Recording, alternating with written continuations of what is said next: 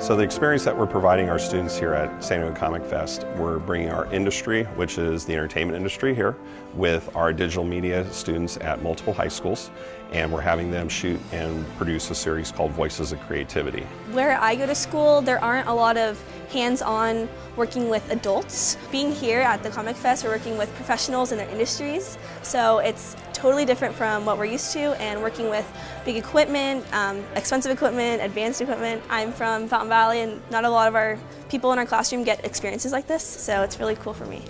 As a parent, when Sean offered this experience, I'm like, yes, let's have my daughter do it. I totally want to do it because now she can see what it's really like to be, you know, a communications major. She'll know what it's like to be in front of the camera, behind the camera, and this is just what I want as a parent.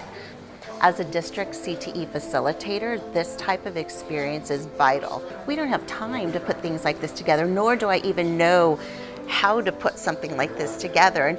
We realize working with school districts that the, de the devil's in the details. Anything that makes it easier for the teacher and for the district, that's what we handle.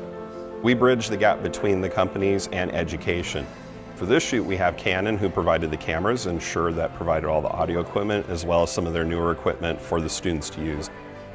The earlier we get their hands on this equipment, the more prepared they are when they go into the workforce. Realizing the fact that I'm using all this equipment and uh, getting all this experience, I know this is going to be a real benefit going into the industry. Getting to know it and really fall in love with it makes me feel lucky that I can, I can have this advantage and can just go anywhere and be confident and uh, work anywhere I want, really.